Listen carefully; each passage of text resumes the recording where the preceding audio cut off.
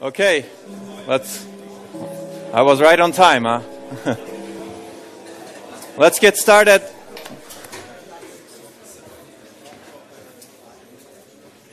So today uh, we'll move to MIPS assembly and MIPS programming. I just wanted to give you an overview of where we are in the lectures before I let Dr. Ranganathan lecture uh, on MIPS assembly and MIPS programming. So we've actually gone pretty fast. We've covered a lot. Are you guys learning a lot? Yes, everything good? It's exciting? Ooh, okay, good, excellent. I like that. That's keep keep that attitude because there will be more to come. uh, so, we, uh, you know the material we've certainly covered, and some of the videos are online. Uh, do you like the uh, videos online? Yeah. Is it good to have them? Okay, you go back and study. Cool.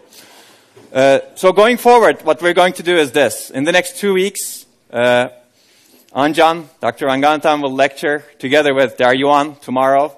Uh, we'll cover two things. One is MIPS assembly and MIPS programming, which will be really important for the labs that you're going to do. By the way, before I start, do, do, do you guys know what MIPS stands for? MIPS is an acronym. M-I-E-P-S. M-I-P-S. Anybody? In, in computer architecture, it stands for two things, actually. Can anybody guess? No? So one thing it stands for is millions of instructions per second, which is a performance metric, which could be an okay performance metric. But basically, uh, people use this performance metric to evaluate the computers. Today, it's not a great performance metric because today most computers actually execute billions of instructions per second. So you actually need to add a, another a factor of 1,000 to this. So today, usually people use BIPs, billions of instructions per second. We'll talk about performance metrics maybe in this course later on, uh, but, but definitely if you take the computer architecture course uh, that I'm teaching next uh, semester. But that's not this MIPS. this MIPS is something different. This is the second meaning. This is basically an instruction set architecture, ISA, of which there are many. Basically, the, uh, as, as we discussed earlier, it's the interface between the software and the hardware, right? What the software designer assumes the hardware will provide and what the hardware promises to provide when you write an assembly program. An add instruction, how is it specified, for example? That's the instruction set architecture. And Anjan will talk about the assembly and the programming aspects of it, and you're actually, you know that you're designing or you're working towards designing a MIPS processor, a simple MIPS processor. So the next two lectures will be about that. But the acronym itself is actually a weird acronym, which will, which will become more clear when we talk about uh, things uh, later in the lecture. It stands for microprocessor without interlocking pipeline stages. Does that mean anything? Microprocessor hopefully means anything. Means something to you without interlocking pipeline stages, well, it's a bunch of words. You don't know about pipelining. We'll talk about pipelining. That's actually what's coming down uh, in the road. Pipelining is a technique that's employed in microprocessors today to increase performance. And the idea is instead of executing one, only one instruction at a time, you pipeline the execution of instructions. It's an assembly line of instructions. You bring an instruction into the processor, and then you move it to the next stage, and then you bring another instruction while this instruction is being processed in the next stage. And then you move every instruction to the next stage, and you process many instructions at a time. So that's a pipeline. So when people designed this MIPS architecture, they had this pipelined microarchitecture in mind, where they wanted to make it high performance. But what about without interlocking pipeline stage? So you kind of have an idea of pipeline stage, right? It's an assembly line, basically. You do different things to different instructions at different stages in the pipeline. And you have different instructions. So now you understand the microprocessor, pipeline stages. What about without interlocking pipeline stages? Now that becomes a little bit tricky. You need to know how a pipeline operates. Uh, interlocking means you need to check the dependencies between instructions. So you do an add, you do a multiply. This multiply is dependent on the add, let's say. And somehow you need to ensure that this multiply waits for the result of the add to be available before it executes, right? there are multiple ways of ensuring that that data dependency is obeyed between the add and the multiply. Make sense? Basically, uh, one analogy that we will give when we talk about pipelining is you cannot dry your clothes before washing them. You could, I guess, but it doesn't make sense, right? You don't want to dry dirty clothes. So your program is useless in that sense if your program is washing clothes. So that's, that's the idea. The, in the pipeline, which, mean, which means that if you're pipelining these loads of clothes in the washing machine and then the dryer, you've got to make sure that a load is finished in the dryer before uh, a load is finished in the washing machine before you start the dryer, right? Or before you put it in the dryer. Otherwise, you will have kind of a useless program, or you won't you won't achieve your goal of washing the clothes. So, with interlocking, ensures that that dependency is obeyed.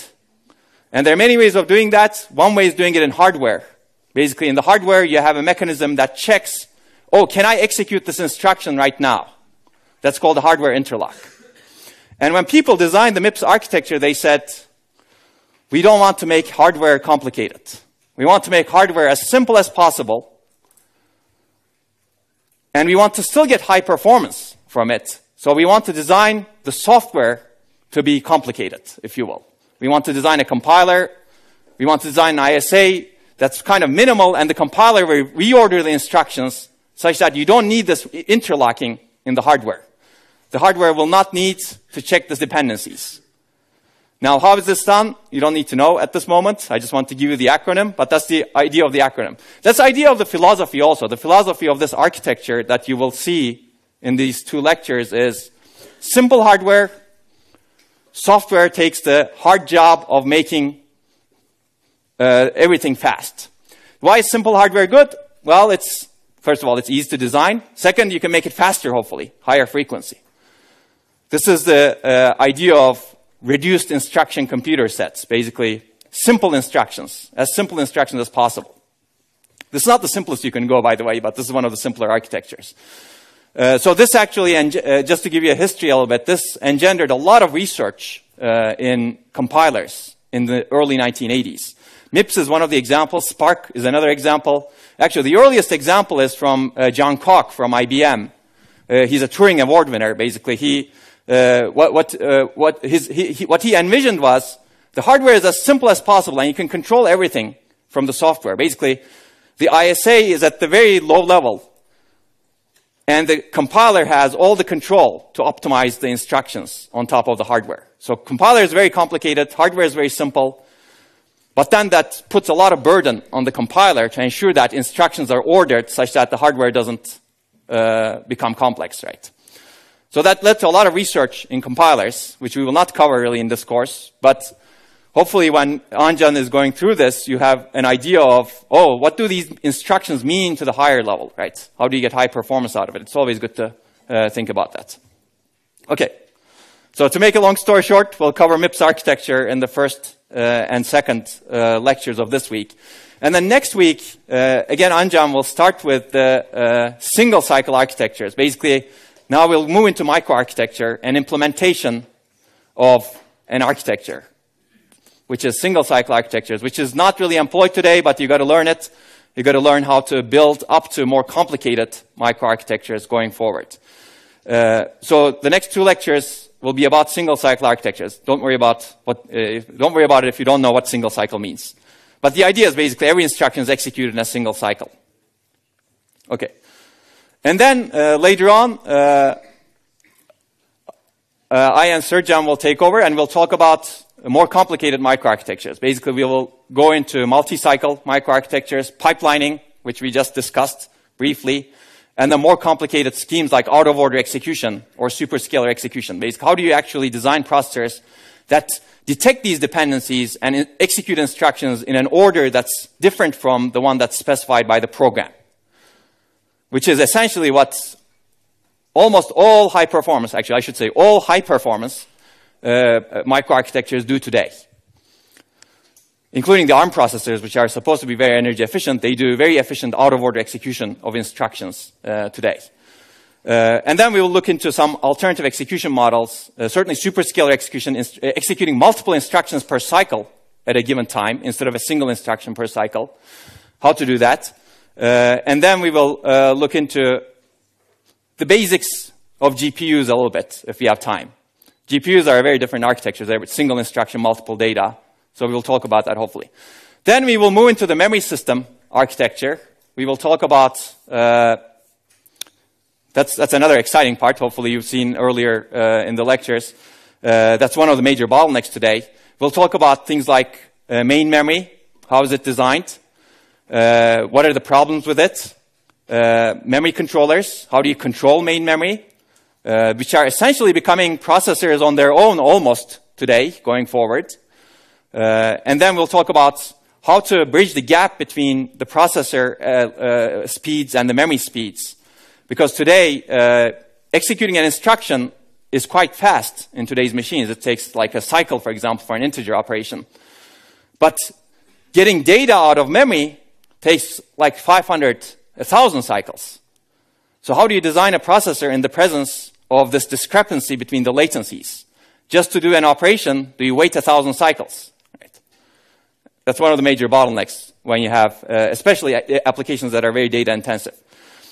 Uh, so we'll talk about things like caching, for example. Instead of always going to memory to get the data, have a structure, hardware structure that's close to the processor that keeps frequently or recently used data close to the processor in the anticipation that you're going to access that again. And we'll talk about some of the design issues in caches, especially hardware design issues, and we'll talk about implications on the software also. So that's kind of the plan for the remaining part of the lectures. Any, any questions before I leave it to Dr. Ranganathan? Does this sound good? You're all excited about this? Okay, excellent. Then I'll leave it to Anjan, and hopefully you'll learn a lot.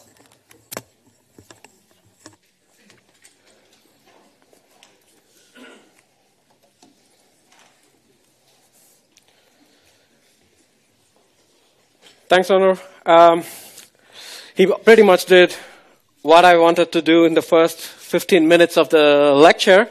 Um, first of all, good afternoon. I failed to keep my promise of last week that you will not see me again. uh, but still, you will see me for three more lectures. So let's get started straight away.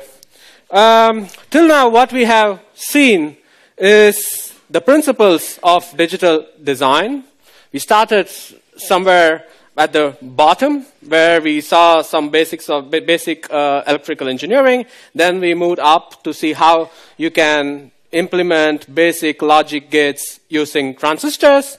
And then we moved even further up and saw some of these how, how to design combinational logic and sequential logic. And then today what we are going to do is we are going to jump or we are going to skip one level, which is the microarchitecture, which is a single cycle uh, architecture that we will talk next week. But what we are going to see is we are going to go to the architecture.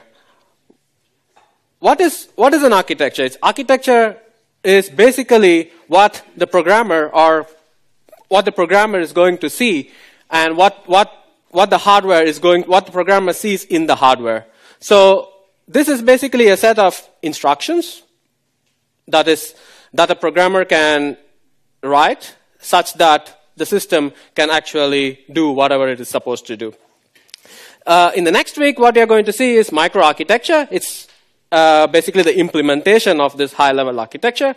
You will see how uh, a single, for example, how a single cycle architecture is implemented. And to, for, the, for people who are interested, this lecture is following chapter 6 of the book. Okay? So,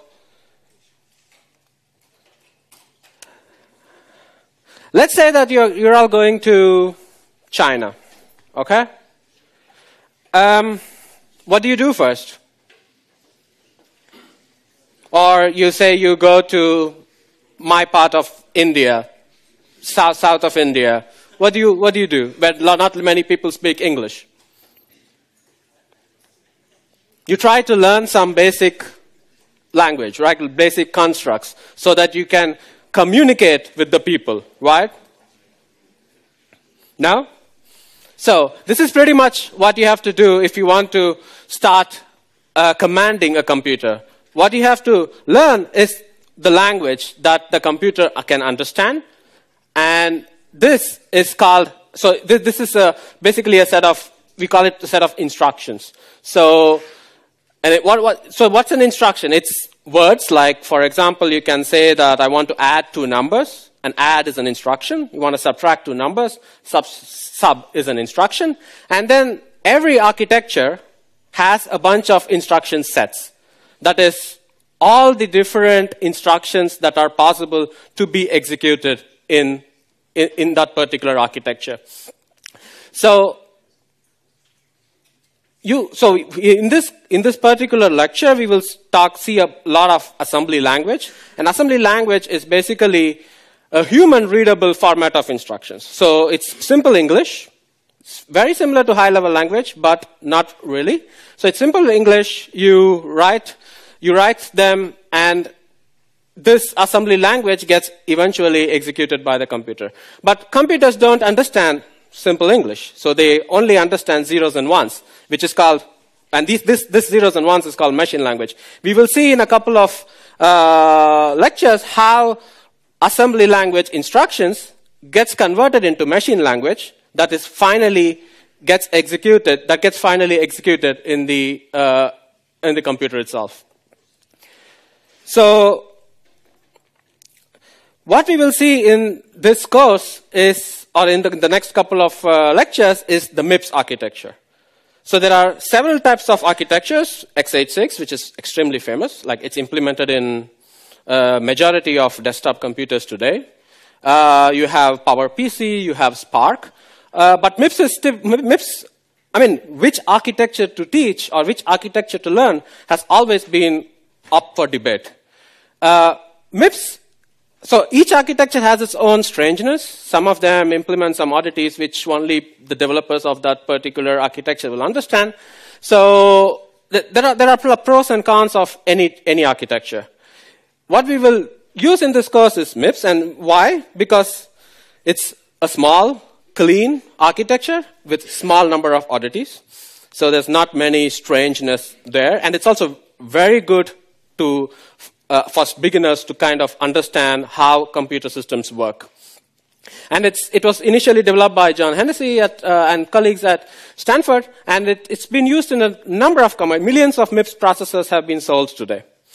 And one thing that I would like to uh, tell you is that if you have learned one architecture, if you're studying MIPS architecture today, it is not much of a, not, not, not a significant effort to kind of understand how x86 or PowerPC or SPARC actually works.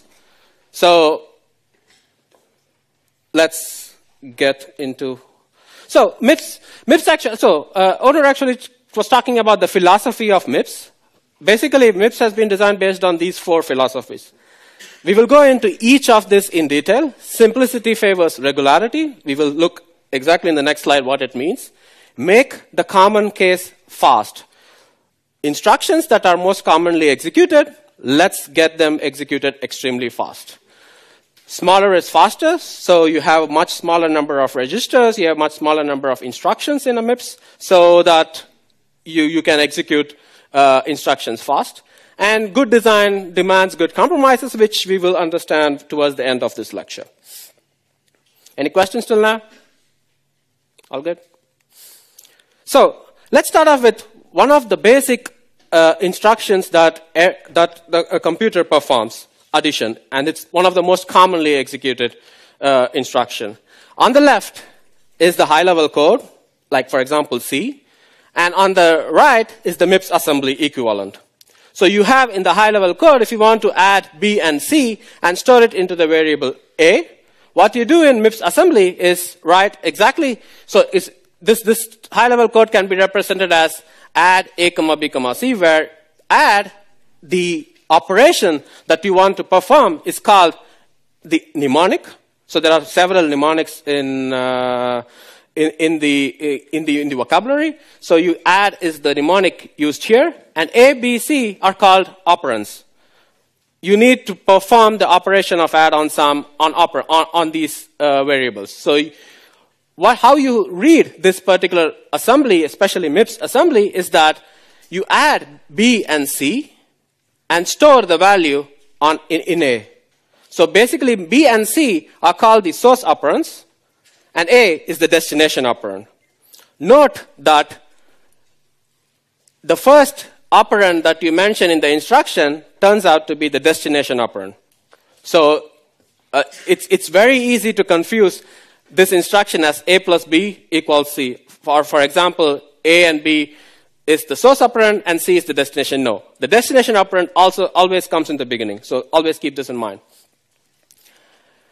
And subtraction is very simple again. So if you want to do an operation like B minus C equals A, you simply use the mnemonic sub and A comma B comma C. It's pretty much exactly how the add instruction is. You have the B and C source registers, which means that you do B minus C, and then you store the value of B minus C in A. So A is the destination operand. And what, what this brings me to the first design philosophy. Simplicity favors regularity. What this means is that there is a cons- consistent instruction format.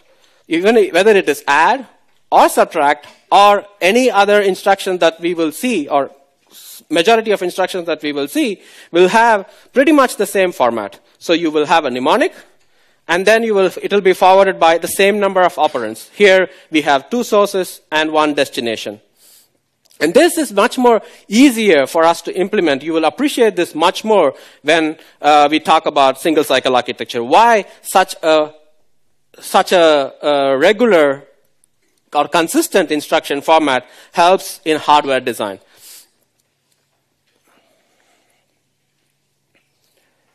So if you want to execute more complex code, for example, A equals B plus C minus D.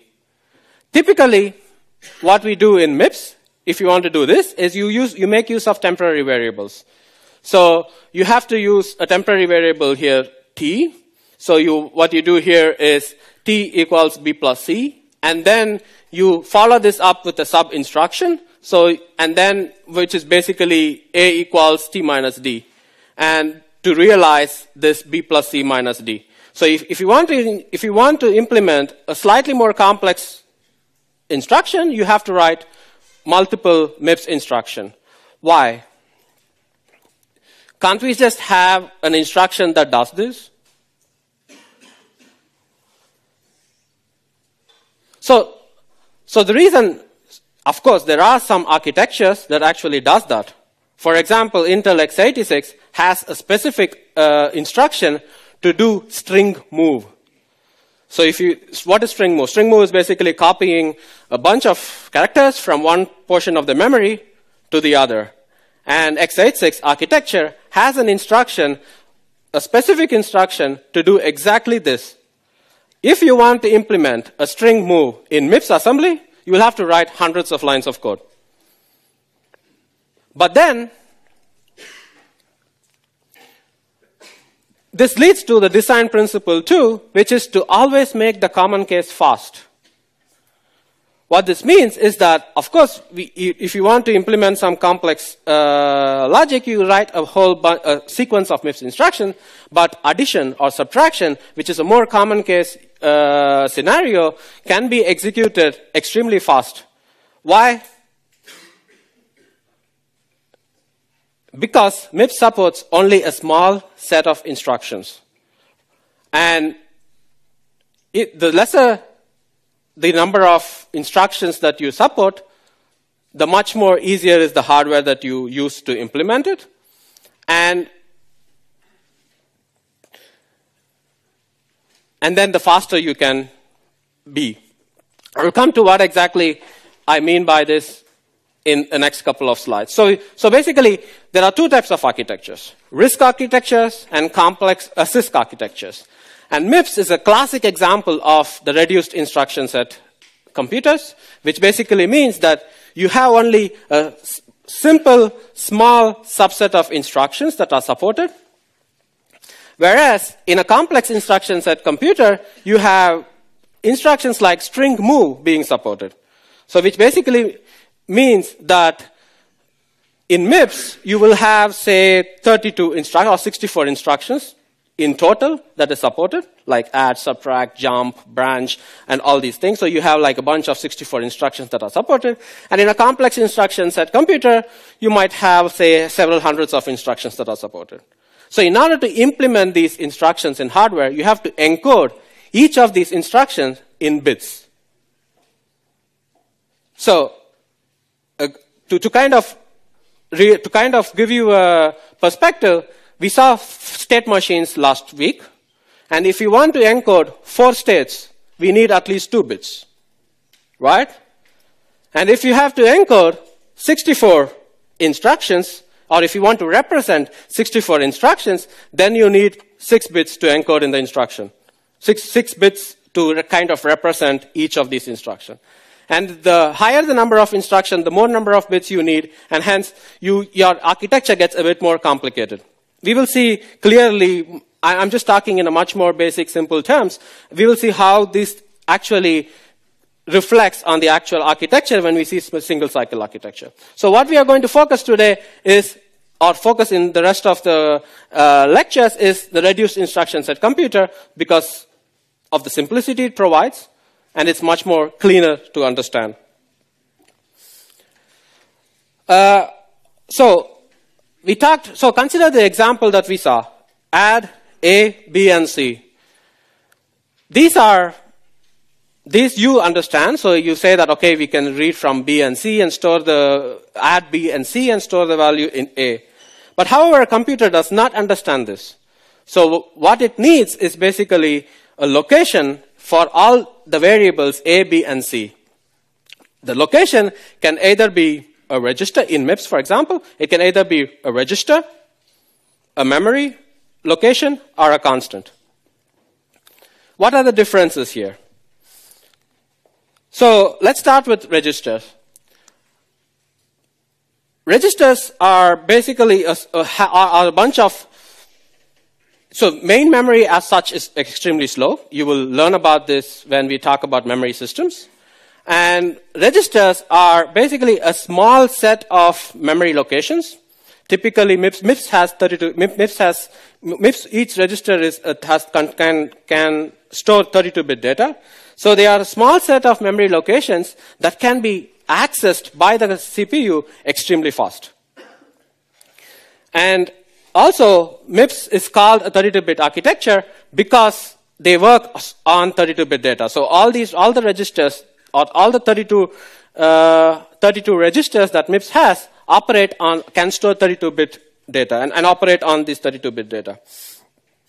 Uh, again, in this course, we will focus on 32-bit architecture of MIPS. We will not look at 64-bit, even though it exists. Uh, it, I, I guess 32-bit architecture is a good starting point to start uh, to understand uh, basics of computer architecture. So,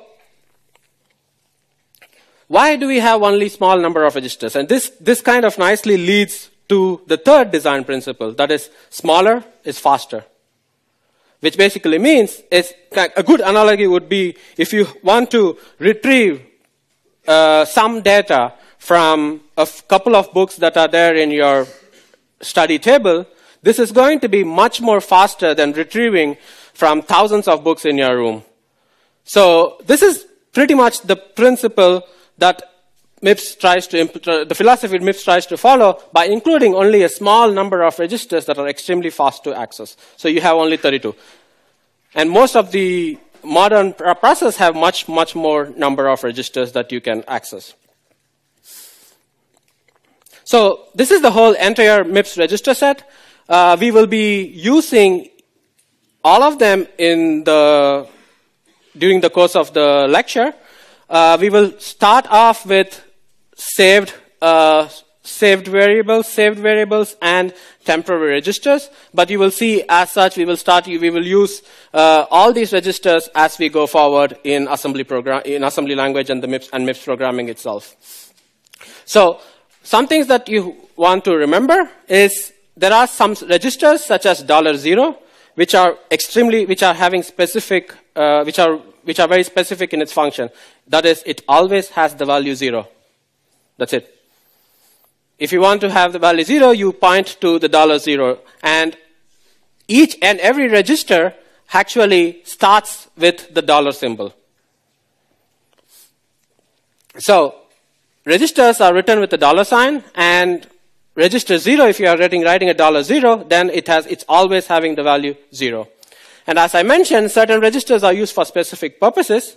And for example, the saved registers and the temporary registers, which we will be using quite, quite a lot in this uh, lecture, has, are, are used to hold variables either across function calls or just for just uh, intermediate values during a computation.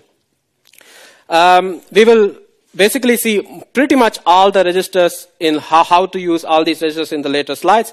And for now, we will be using only the, the, the temporary registers and the save registers. So let's go back to the add instruction. A equals B plus C. Now, what we did in MIPS assembly, uh, in the assembly is that add A comma B comma C. However, computers don't understand A, B, C. It has to retrieve these values from some physical location, which basically means that this can replay, this can, the, the MIPS assembly can be replaced as add dollar $s0, dollar $s1, and dollar $s2. That is, add the values that are stored in registers S1 and S2 and store the value in the register S0. So the source and the destination operands are now in registers. Simple?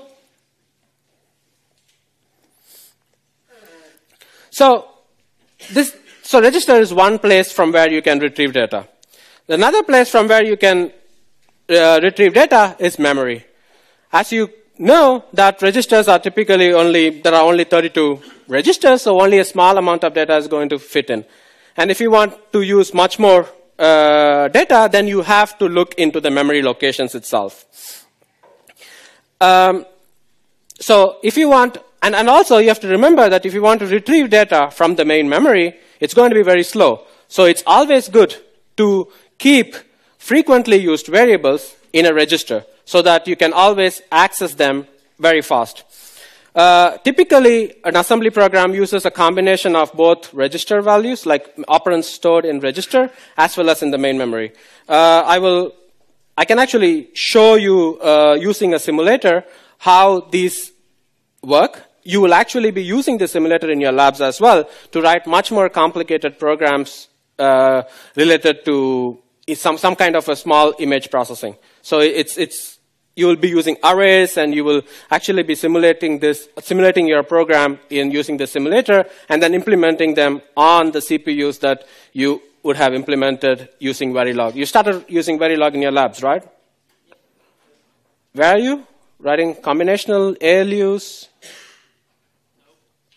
You started using, uh, you started designing adders?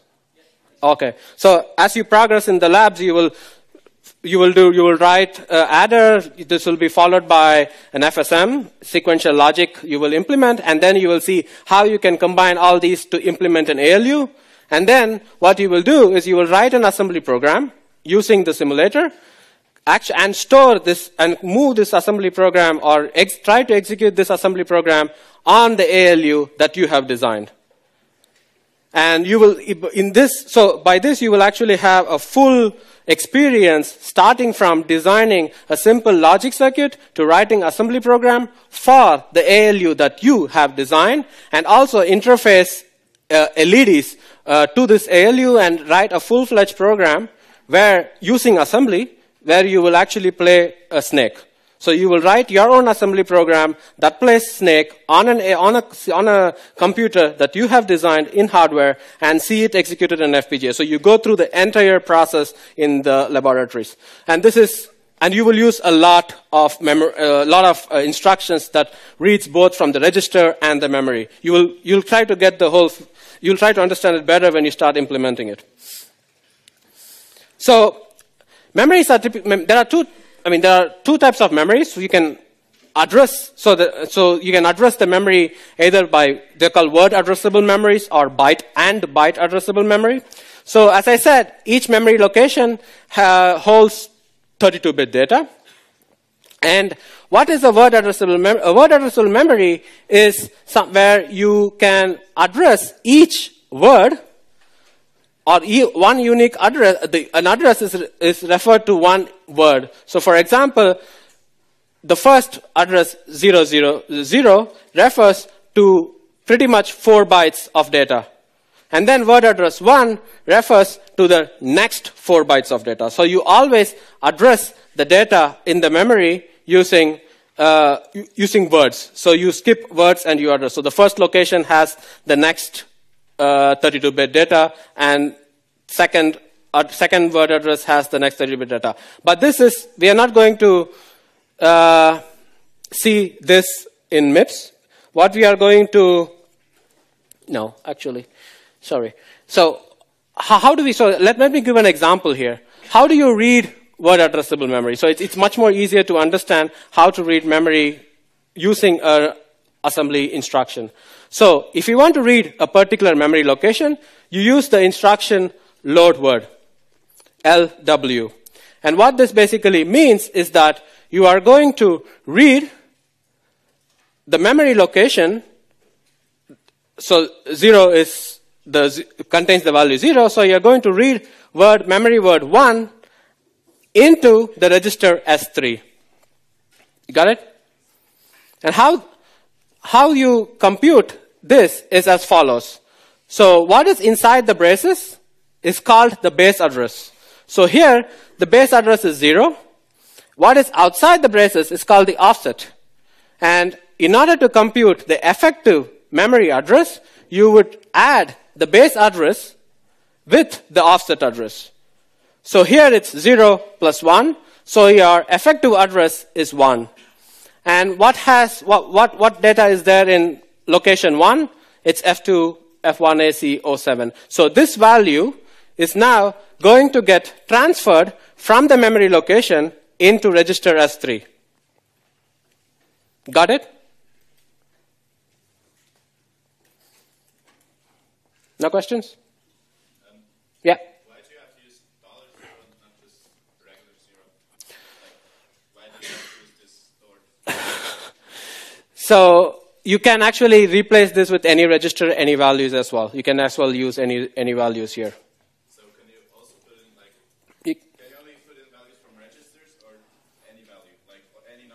You can put any number. Sure.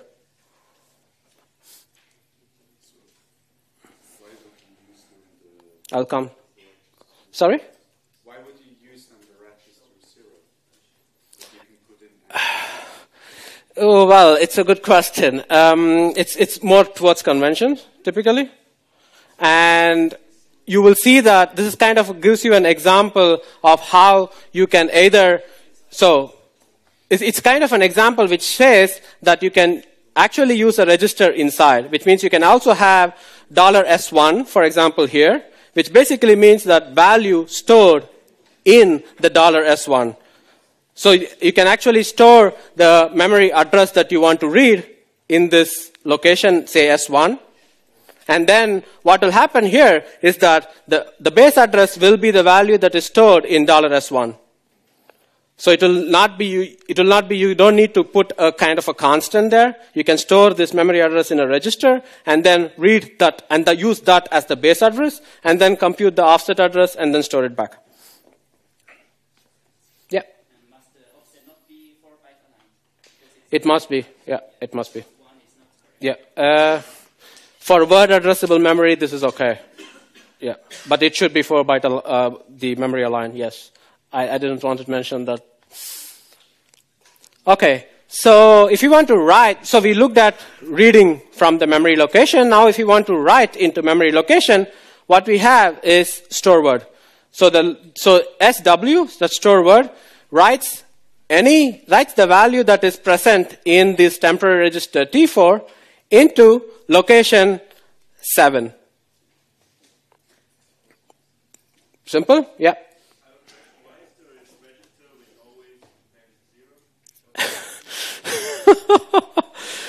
well, uh, good question. Uh, do you have an answer for that? Yeah, I can give you an answer. I mean, that's, uh, that's because zero is such a commonly used value that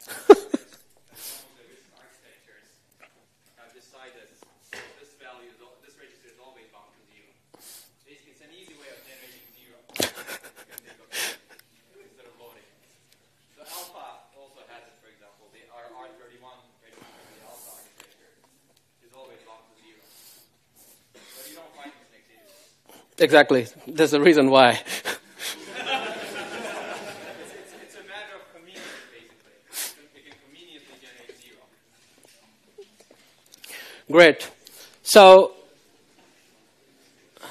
again, a simple example of how a simple example of how the effective address is computed. You add the offset address to the base address, and then you store the value that is present in T4 into this effective address. And as I mentioned here, you can use any register value here. You don't have to say $0. You can say $S1, $S2, and the value that is there in $S1 or $S2 is going to be your base address, and then you compute the offset address. And you will use a lot of this when you want to read and write from arrays and so on. So the next uh, type of memory is byte addressable. So what happens here is what, what, what we saw till now is that you will you were looking at ad- addresses that were having for each increment in the address you were incrementing it by word that is 32 bit data but here which mips uses mips uses byte addressable memory so this is what you're going to do in the courses so what happens here is that each byte has an address so you start with 78 as 0 1 2 3, 4, 5. So it's no longer 0, 1, 2, 3. So you're no longer going to increment addresses based on 32 bits of data, but you're going to, every increment in the address is going to move to the next byte. So let's see an example. It's the same example. You are now going to load a word of data at memory address 4 into the register S3. So what you're going to do here is use the word, use the assembly instruction load word, which is load word dollar $s3, and then you give your effect, uh, the offset address and the base address. If you notice here, if you want to load data that is here, that was previously in a word addressable memory having address 1, here you will have 4 because you are using a byte addressable memory here. Previously, we saw word addressable memory. Remember, MIPS is a byte addressable memory. So you will be using increments of 4 if you want to read words. So if you want to read the word 1, word 1 is typically located at address 4. So that's because you have, it's the fifth byte. So you will say 4 as the offset and then $0 as the base address. So the effective address that you compute is 4, which is actually holding the value f2, f1, AC07. And this is what you are going to use in, um, in MIPS. Okay? Throughout your lab programs, you are going to use byte addressable memory architecture, so you will be dealing with uh, such offsets.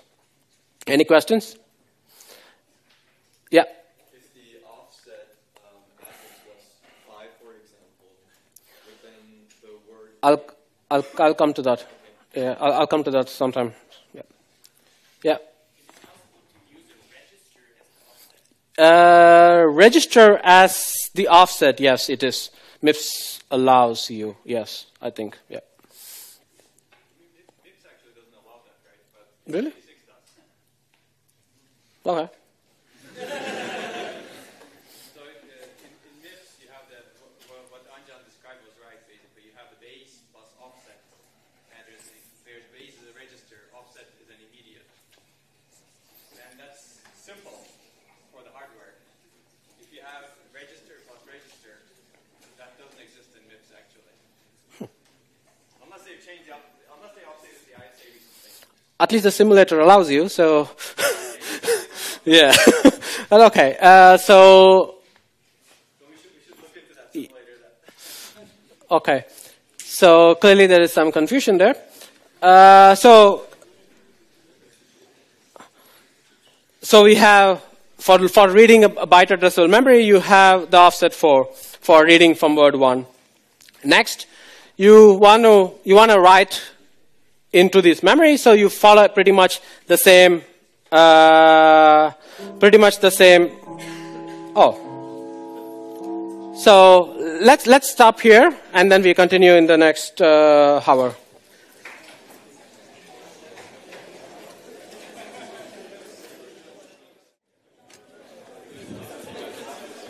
Let's continue. Uh, I will quickly show you a demo. So this is pretty much the simulator that you're going to use in your labs. And this runs, this, this kind of simulates the MIPS architecture. So, for example, the one, the values or the registers are shown in your right side, so you can see the values from the, starting from the zero register to the temporary registers, the stored value registers, the stack pointer, uh, the program counter, which you will soon see what it is used for. So you kind of have all these registers on the right side of your simulator, and what you can simply you, you actually write pretty much it's a very user friendly simulator. So you can actually it will actually tell you what is the format. And let's say we start with S1, S2, and S3. So you first compile, execute, and now you see the main memory. So this is the memory locations, and this is all the registers. So now what you're going to try, what we are, what we are trying to do here is add S1 or add S2, the value of S2 to S3 and S1. So if you want to verify, you simply change whatever you want here. So let's say 30 and let's say 3. Uh,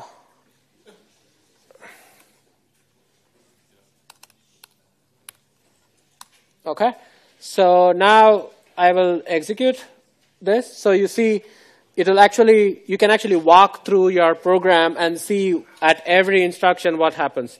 And pretty much you will be, you can also manipulate values in the memory and you kind of see how the MIPS architecture uh, actually works inside.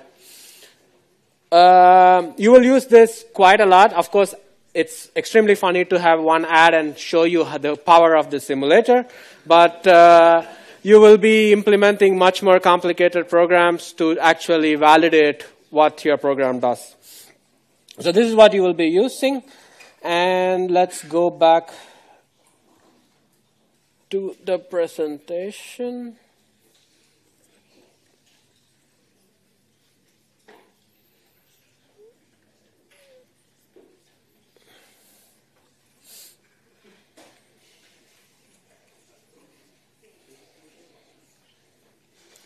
Good. So, of course, Onur was right. Uh, you cannot use a register for offset. Uh, you cannot use uh, a register as an offset, so you will not be able to use it.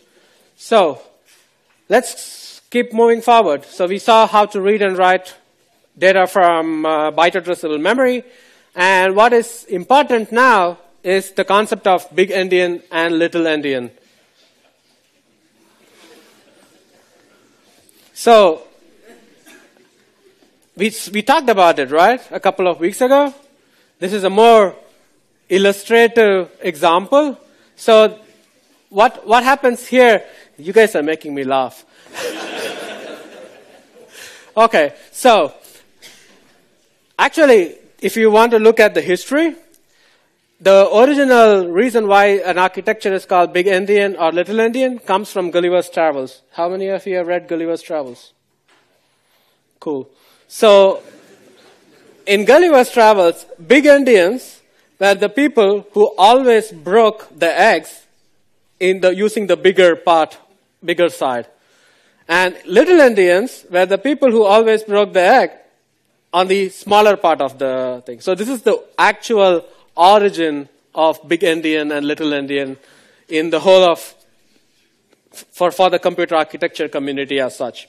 So what happens, so what is, the, what is the difference is that if you want to quickly know what is a big endian, a big endian is basically your, the zero, the address start as the most significant bit. So you know that you have a 32-bit uh, word, you have the most significant bit and the least significant bit. In a big endian, the most significant bit is always addressed from 0. The, the address 0 refers to the most significant bit. And in Little Endian, it's, it's the other way around. You have 0 addressed to the least significant bit. Why does that even matter?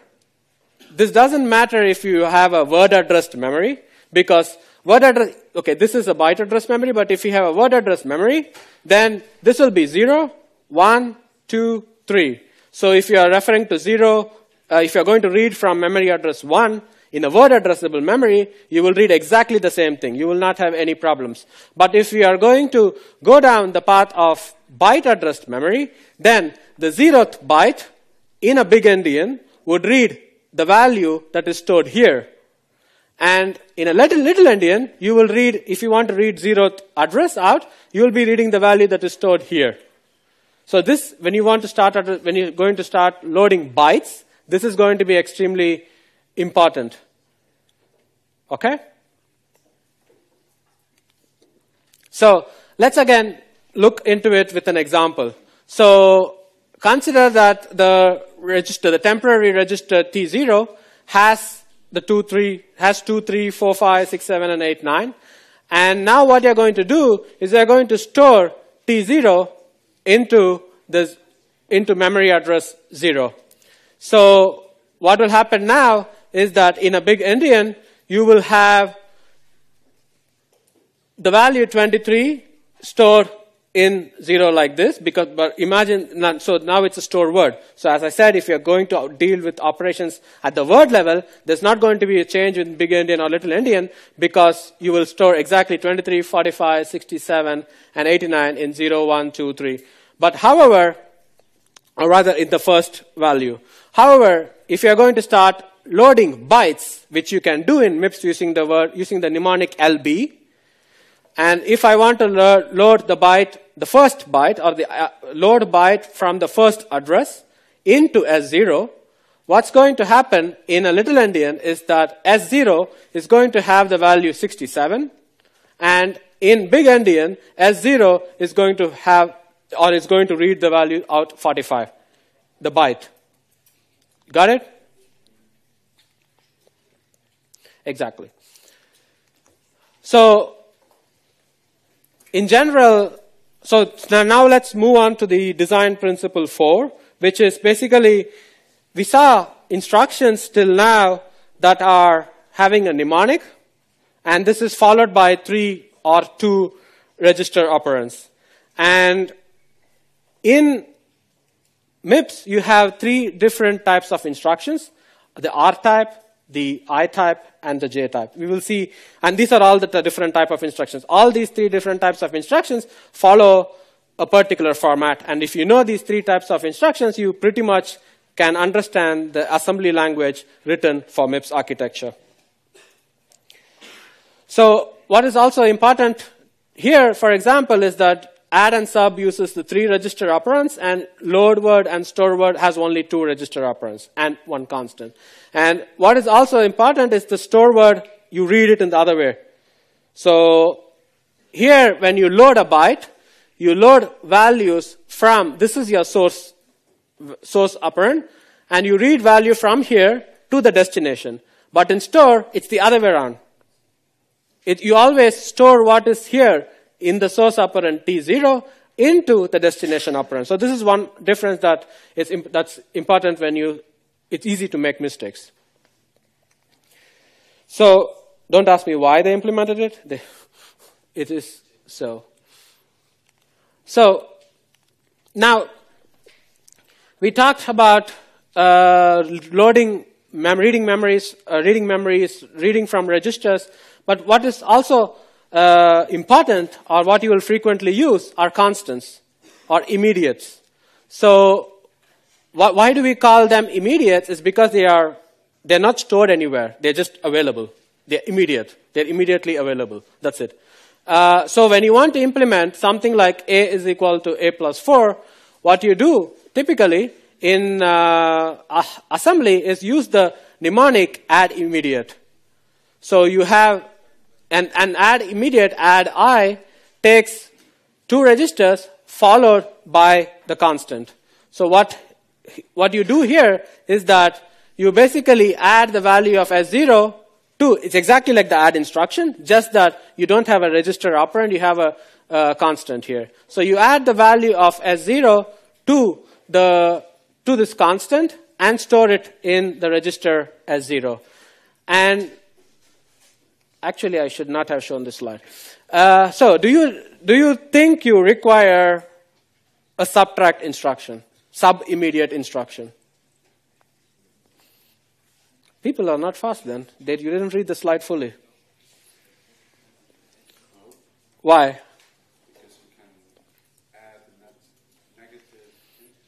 Yeah. so, uh, so you, you don't need a subtract immediate instruction because of the fact that you can implement subtraction by adding a negative integer. Um,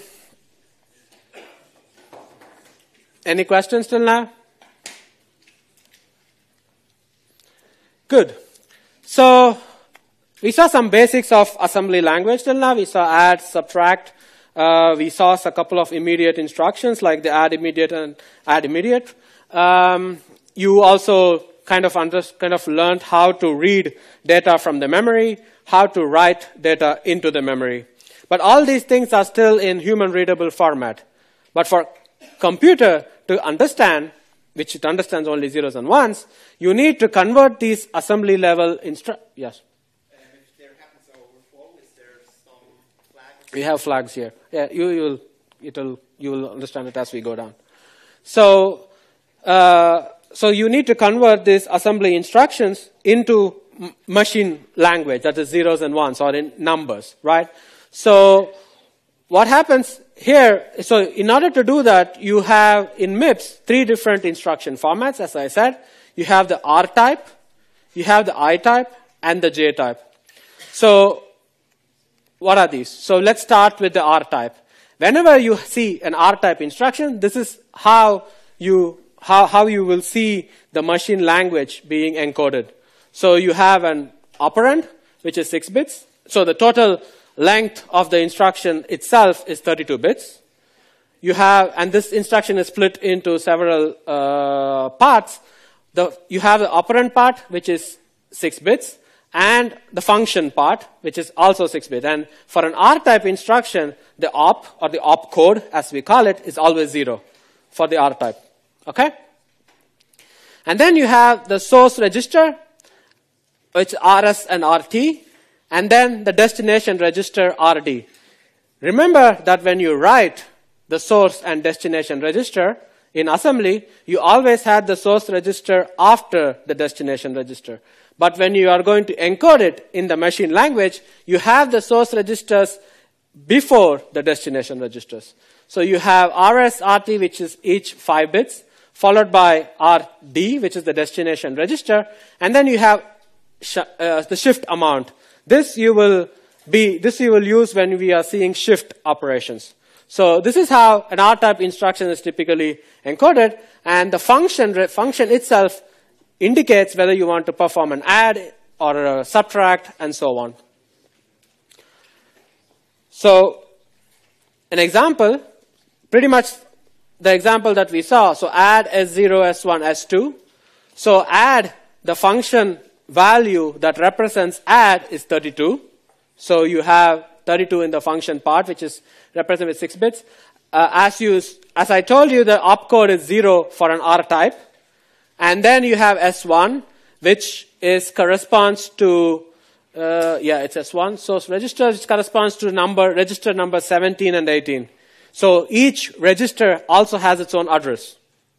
So these are kind of register addresses. So you say 17 and 18, which kind of indicates to the computer that you are talking about registers S1 and S2. And S0 is 16.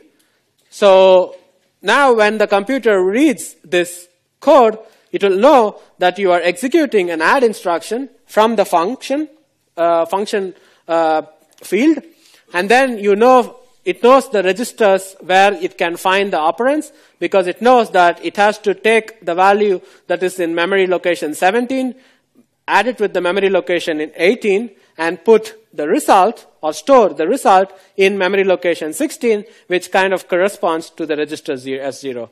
Similarly, you can also kind of uh, uh, convert assembly code for subtract into machine language code. And now this, you simply write it in binary or hexadecimal, and this is what you will load into your computer. So in the labs, when you write your assembly language program, the simulator will allow you to generate what you call as the bytecode or the loadable binary file. And that binary file will have uh, just these numbers. So, and these numbers typically gets loaded into your processor, which you are going to design, put it into the memory, and then as the CPU starts executing, it will always start at a certain memory location and start executing the instruction in one after the other. So if you have add followed by a subtraction, and you store it in some portion of memory where the CPU starts executing, you will immediately the computer will start executing from this memory address. So it will read this, this data that is there, and then it will interpret this data as what it should be doing, and then after it finishes, it, flow, it, it goes to the next memory location, next memory location, and thereby executing your entire program. Uh, as I mentioned, note the order of the registers. It's not, it, it's like RS comes, RS and RT comes before the destination register in the machine code, but it's the inverse in assembly code. It's kind of it's important to note it without if you want to avoid silly mistakes. So the next instruction type is the I type, which is immediate type, and it follows pretty much the same frame for the, the format. You have a six-bit opcode. What you don't have is so what you don't have is uh, the shift amount and the function, and the opcode itself will tell you what operation you want to perform. So add immediate has a specific opcode value, and so on. And you give the immediate, and the immediate value that you give is stored, is, is put into the 16 bits, uh, in the 16 bit field. And then you have the register operands just like before. So let's move, let's, let's look at some example here. So you have add immediate, which has the opcode 8. And you have the register S0 and S1. So basically what it does is you have, you add the value of S1, you add 5 to the value of S1, and then you store it in S0, and this gets converted into machine code like you have add i, opcode is 8, the destination, the, the address of RS and RT is from S0 and S1, which is 16 and 17, and the immediate value 5. And this directly gets converted into machine code, which is what you feed into your system. And then you can also look up for load word, store word, pretty much. So all these are I-type examples. Any questions? I know this part of the lecture is a bit boring, but it's important because this is comprises of at least seven to eight points in your exam. So now wake up. yeah. See, now you have questions. Why is the immediate part only 16 bit, not 32? Uh, because the whole instruction format is can only be 32, and you need to kind of split this up into portions, and you cannot give. So this is also a restriction in the hardware. You cannot give an immediate value that is more than 16 bits, which is 2 power 16. So you cannot have an immediate value that is so big. So it's a, it's a restriction because of the 32-bit instruction length itself. Yeah. Um, why are the fields now um, changed?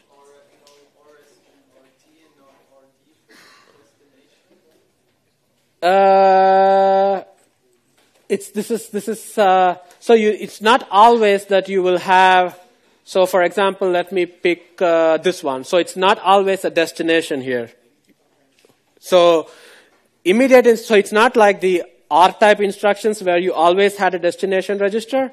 But when you look at, for example, in load word, this is the destination in some sense, yes. But for store word, it's not the destination, it's the source. So you cannot differentiate in I-type at that level. So you can only see the assembly level and figure out whether it's a source or a destination. So you don't have this RD, you represent it simply as registers. You don't even call it source. You just call it operand registers or register operands. That's it. Exactly. So the store word is having the opcode 43 and the load word has 35.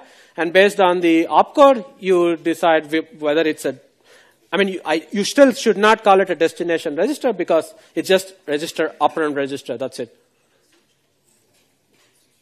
Yeah.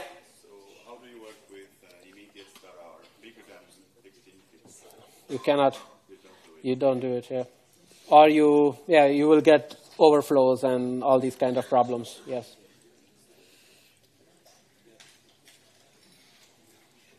Good. So, J-type, uh, very simple, the more, not the simplest, right? You have an opcode and then you have an address. You have 6-bit opcode, which indicates what's your what's the actual uh, jump instruction that you want to execute. So it basically jumps several jumps to a certain address in your sequence of uh, instructions that you are going to execute. So as I said, when you start executing a program, you start at a particular memory address, and then you execute every instruction in sequence. When you come across a jump instruction, you can give it an address, and the sequence will kind of jump to this particular address. And it's, one, and it's a 26-bit address. The reason is, yeah,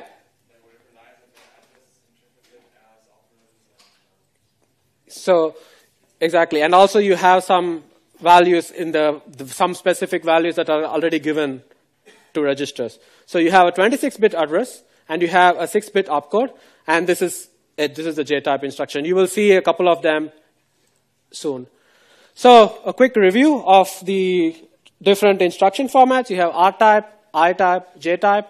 R-types add subtraction where you have three registers, th- three operand registers. Uh, opcode is always zero for an R type. For I type, you have the opcode. Uh, it's an immediate, so you have a 16-bit immediate followed by the two register operands. J type, it's for jump instructions. Sorry, I didn't quite catch why the address of the J-type is 26 bits because we could address some registers with only 5 bits. Does that mean the address in the J-type is in memory? Yeah, some of them are in the memories. You have to, so you, you, you allocate some of these addresses straight away for these general purpose registers. So you don't, you cannot specify all the addresses here. So you have some restrictions there. So you're not executing the full 32-bit spectrum of the computer. We can, we can talk, it offline. I don't want to go much more deeper. Yeah. It was about the 32 bit. You answered. So, uh, the, so this is pretty much what I covered. So what you have is when you generate these, uh, generate this machine language code, you have this bunch of hexadecimal values that you can store into memory, and then as soon as the as soon as you execute or you power on your CPU, it always starts in a particular memory address. MIPS always starts in 4000. Yeah, it's you will come here. So you always start at a value uh, at a specific memory address when you power on your computer, and then it starts executing all the instructions it finds at each of these memory locations in sequence. So the power of this basically is that you don't have to implement new hardware if you want to change your program. You know that just by reprogramming, I mean, it's, it's not something great for people of this generation, but like a couple of decades ago, this was fantastic. This was really fantastic that you don't have to rebuild circuitry to run a new program. You can simply load, you can write something like in assembly, convert it into machine code, write multiplication operation, and then if you don't want the computer to perform the multiplication operation, or you want to do division operation, all you need to do is change something in the code.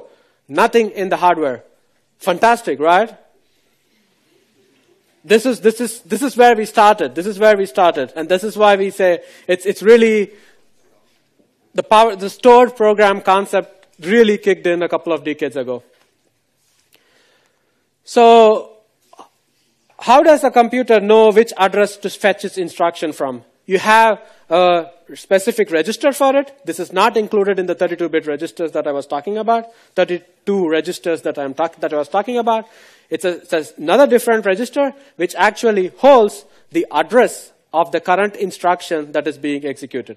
So it will hold the memory location of from where the current instruction is getting executed, and MIPS typically starts in this address always. So whenever you want, whenever you power up your MIPS uh, computer, you always the PC will always be uh, reset to have this address, and it will start executing the whatever is there in these address. It will pick up the instruction, decode the machine language, execute the particular instruction, store the values if necessary, and so on. You cannot have access to this register, so you cannot write to these registers. So it's an, it's an, it's, it's, it's, it's an automatic increment that happens based on the instruction. So, any, any questions till now? Good. So, a quick example again. So you have load word, add, add immediate sub. You have the corresponding machine code. So what is load word? R type, I type, J type. Yeah. Sure.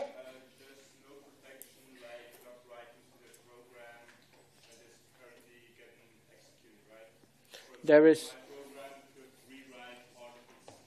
Sure, sure. There's no such. No, no, no. It's very simple. It's not, it's not like the more advanced architectures where you have protected memories and stuff like that. Sure. So, uh, so you have load word, add, add immediate, and sub. What's load word? R type, I type. So add, add immediate is rocket science. Immediate type, I type, so and an R type. So all these con- gets converted into the machine language, machine code, and this is how your memory is going to look like. So you have memory, and you have exactly all these things uh, stored in memory, and the convention is that always the addresses are in inc- from, from the lower to the bottom, so it gets stacked up. So you always put the lower values at the bottom of the file. So it's kind of a memory convention that we use. So you start, the PC starts here, and then once it sees this uh, instruct the machine code, it will execute the corresponding load word, and then it goes, after it finishes, it goes to the next instruction, next instruction, next instruction, and so on. And the cool part was that if you want to do something totally different, you just store a different program here. Fantastic. So, again, uh, interpreting machine code. So, if you are given a certain machine code, how do you interpret them? Straightforward, actually. If you have an opcode is zero, you know what type of instruction it is, and so on. You can you can deduce the field from there. So, I'm not going to go too much into detail. I see that it's kind of repetitive. So, what did we actually learn? Uh, we learned how to read memory. We learned the different types of MIPS instructions. We learned a couple of example inst- uh, assembly instructions, and we, we saw what is big endian, little endian, and so on. So, what I can do is start MIPS programming with branches, or you guys can say, no, I don't want, I want to go home. Do you, I, I will start the next one because then you, tomorrow is Friday and you can go home earlier.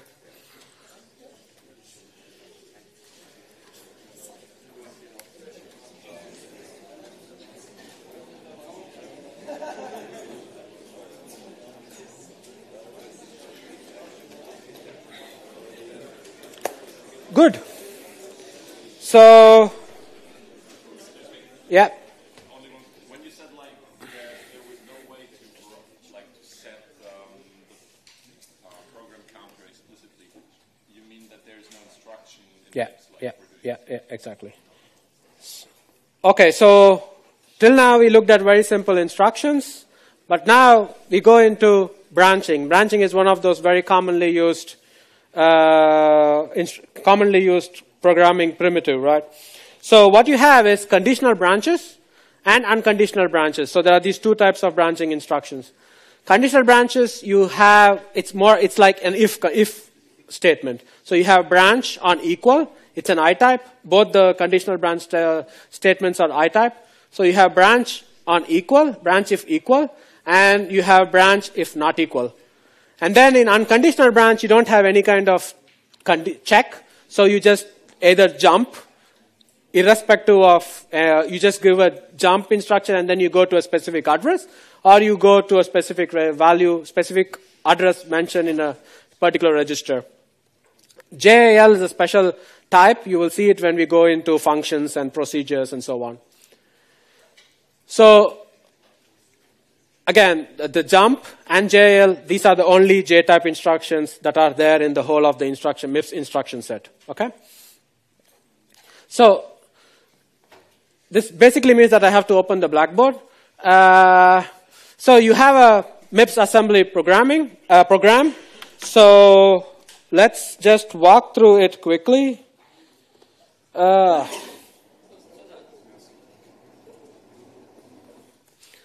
unfortunately, this is again not recorded, but it's okay. So you have the first instruction add immediate S004, which means what is the value of S0 after this?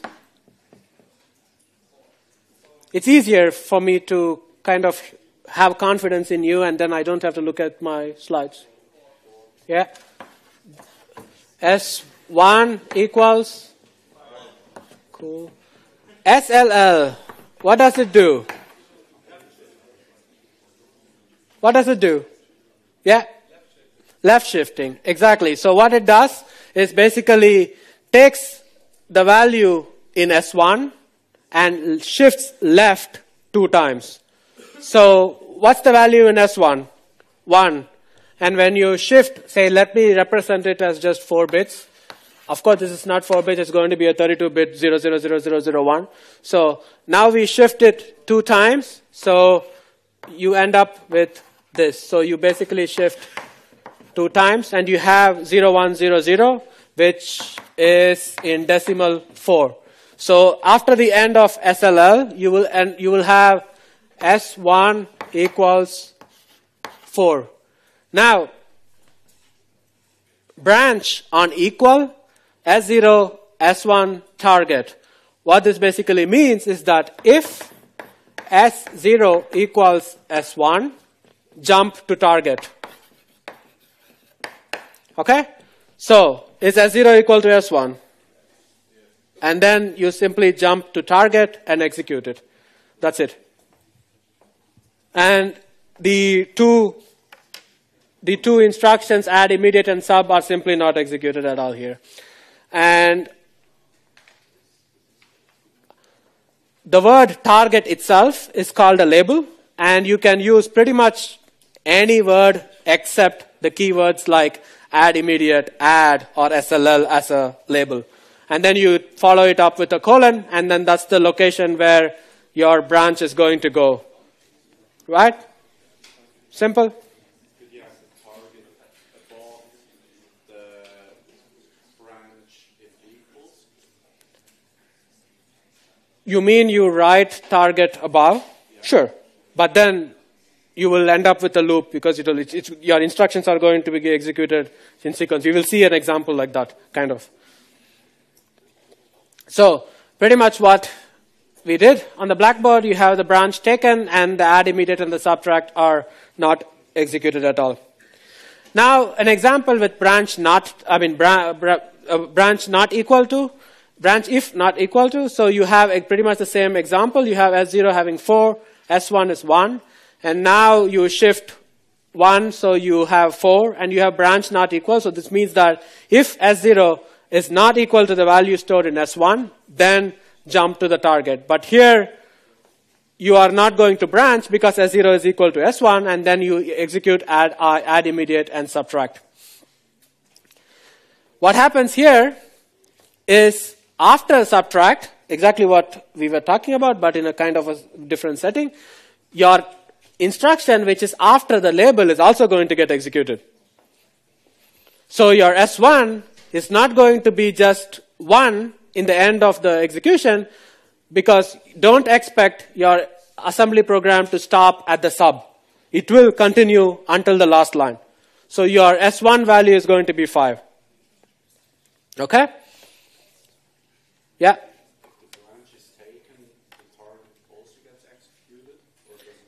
If the branch is taken, only the target gets executed. Or, I mean, like the No, it doesn't get executed. Yeah. So if it if it was taken for like for example in the previous example, you don't execute add immediate and sub because the br- branch is taken. Because this is the end of the program. It doesn't it doesn't have a jump or anything to indicate that it goes back. Ahead. So an example with unconditional branching. So you have the same example, but here you don't have any condition to check. And whenever the assembly comes to jump to some target, the program counter will update the value of the next instruction to have to jump to the memory which contains this instruction. So you will simply jump to the add instruction after target and all the remaining three instructions is not going to get executed at all.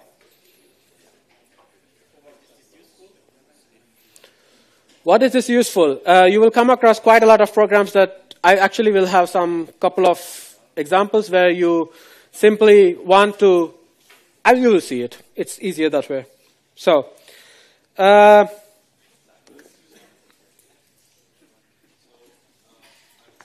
sure.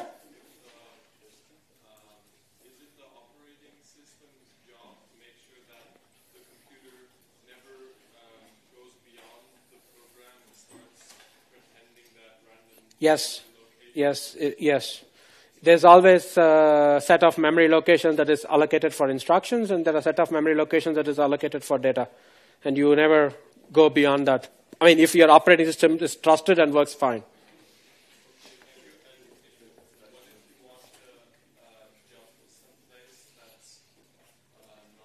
You end up you end up with memory access denied, false. You you see all these kind of false when you implement a C program with a pointer to some random address.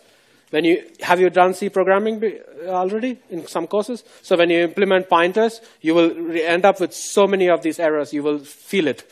You will you will really feel it from segmentation faults to all these kind of errors that you say that you cannot jump to that particular address because your operating system does the protection for you. If not, it's a chaos. People will start writing into operating systems code memory. You will see the blue death screen quite often. So, great. So, this is the jump jump register instruction. So where you, so what you do here is basically load a particular value into S0. So you have, after the add immediate, you have S0 having 0x2010, and then when you reach JR, what, what the system will have, do is that it will read what is the value in S0 and jump to that address. Now the value is 2010. It's going to simply execute the load word, skip the add immediate and SRA. It's as simple as that. So when you want to compare, so when you want to compare all these instructions with what the, with uh, the question the gentleman asked, how, when are these things useful? Let's start with the a basic if statement. You have if i equals j, you have f equals j plus g plus h, and here let's assume that these are the location, register location containing each of these variables. Now, so now what's happening in the assembly code, if you want to interpret, if you want to write the high level code, is that you will notice that if you want to check for equality here, you will always check for not equal. Okay? So, what happens here is that I is stored in S3, J is stored in S4. So, what you will do here is that if S3 is not equal to S4, then you jump to L1 to do the subtraction. Here, what you do here is exactly that, right? You just check if it's equal, you execute this, and then you execute this. But here, as soon as you figured out that it's i is not equal to j, you simply go here, and this is pretty much what you implement. So, if you want to implement an equality if condition, simply start with a not equal, branch not equal condition in assembly. And then the rest of it is history. Add S0, S1, S2, it's pretty straightforward, and then you have a sub. And you see that when you are not taking the branch here, where you execute the add instruction, this will be eventually followed with the sub instruction being executed. So you're not going to skip the sub subtract instruction here. So it will get executed. Similarly, if you are if you want to do an if and an else, which basically means that if the branch is taken, you are not going to execute the subtraction uh, subtraction uh, instruction. This is where jump comes into picture. So what you want here is that unlike the previous example, where even if you enter into the if condition, you want to execute this instruction. But here, if you enter into this condition, you don't want to execute this one. And pretty much this can be implemented by, if you have equality, you check for not equal, you do the addition, and then you simply jump to the end of the program. You don't want to execute this one. And this is pretty much why the jump is useful. Got it? While loops.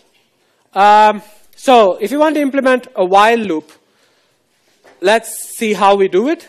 So you have, you want to store POW, the power, and X in two registers. So these are the registers we choose. We load these two registers with the values that we want. And you also need a temporary register to store the value of POW that you want to compare with. So you have a temporary register where you store 128. And in the while loop, you have a not equal to here. So what you do, you use an equal in the assembly. And then what we do is POW and 128. So the power is in S0, 128 is in T0. So you say if they are equal, you simply jump to done. Which is basically if it's equal, you finish the program here. And exactly, and if it is not equal, you continue with the program. And if you want to multiply a value by 2, all you need to do is shift it by 1.